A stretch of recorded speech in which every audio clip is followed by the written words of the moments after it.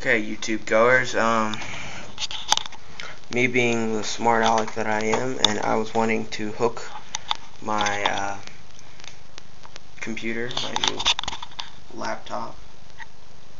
My family swapped computers, and I got the laptop. I wanted to, and it's got an S-video port out, plus the uh, regular monitor, but I don't want to have that giant thing on my desk. I've got this and my Mac. It's pretty much a full desk. So what I decided to do is I had at one point an S-video cable and then an adapter that went from an S-video to a composite so I could hook it up to my TV which is right now hooked up to my computer as you can see yeah see it moving around. But, um, and I'm going to make the final touch-ups on the cable and I'll let you see it. For some reason they say you're supposed to use a capacitor. Uh, let me take a look at what kind of capacitor you're supposed to use. You're supposed to use a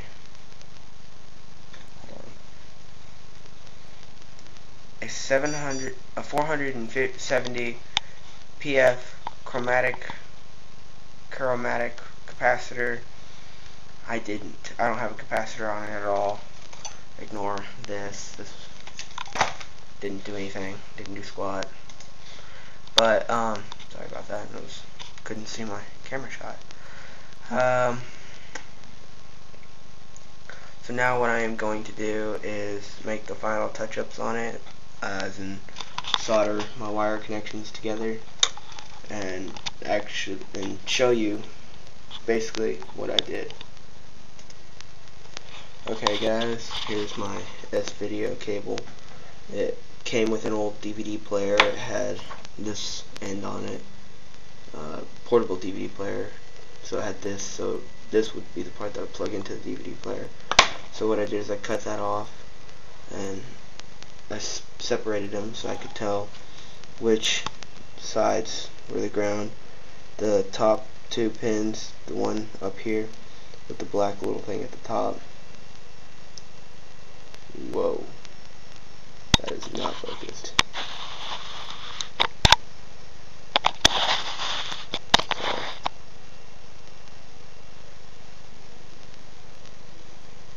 There you go can kind of see it. So the shiny pins. The one up here by my thumb that's pin 1 the one up here by my pointing finger at the top that's pin 2 bottom right by my thumb is pin 3 and this one is pin 4 and the top two are grounds and the other two are data. And you're supposed to put the capacitor on the two bottom ones but I didn't do that, so. And, uh, we had a huge TV that died and had a ton of these RCA ports. In fact, I built like a little box uh, in the corner over there out of all these RCA plugs. And, uh, you have to wire the ground, the two grounds from this, to the ground from the RCA plug then you wire the data from the RCA to the data on the uh, S-video cable. And now I'm going to finalize these connections by soldering them together.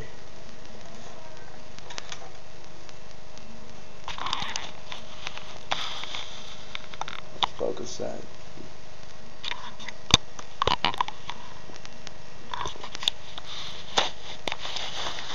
Focus.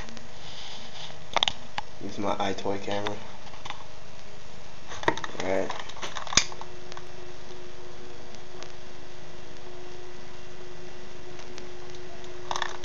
And I believe the proper way to solder is to heat up the wire and apply the solder. That's what I'm doing.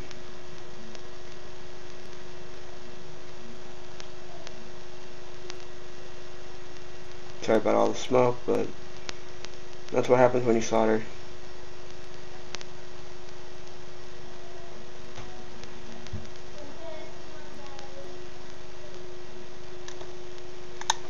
As you saw that big old puff of smoke. Now time for this side.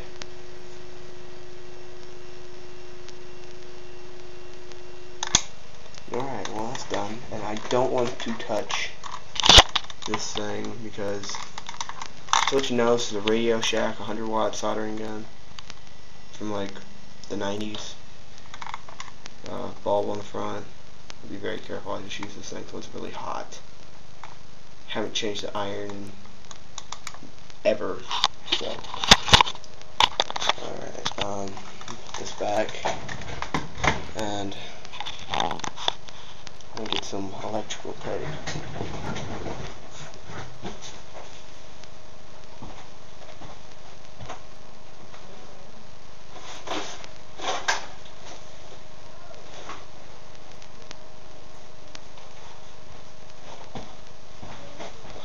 Hold on.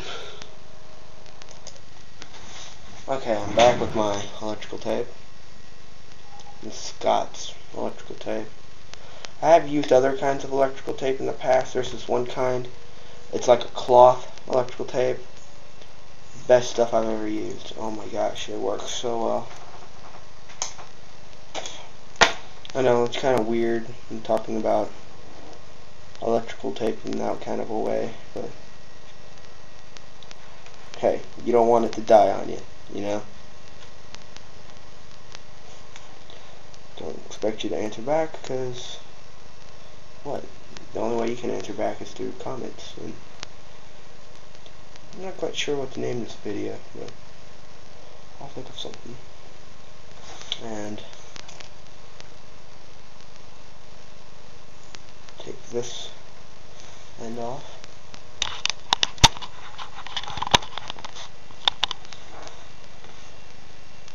You can see that.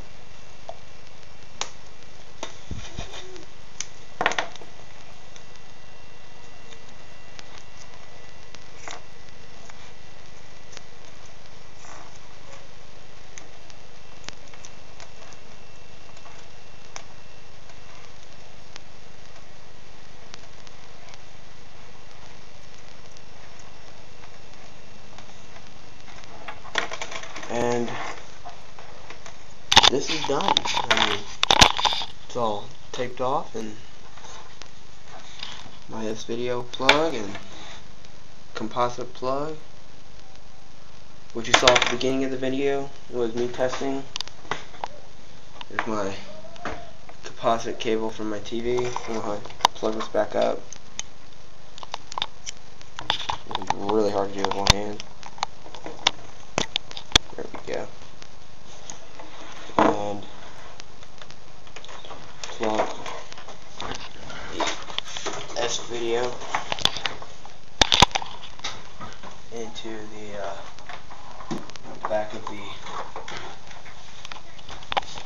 laptop, which is this port right here.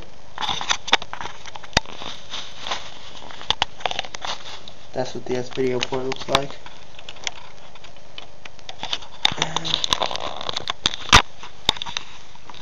you notice he is back online and CRT TV by the way, so it's gonna flicker. Um, that is my uh, jerry-rigged S-video cable to composite. Um, I hope you enjoyed the video. And this is my first video with my laptop. And, by the way, it is a Toshiba satellite.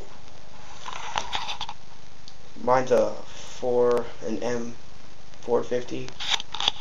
Great laptop, recommended.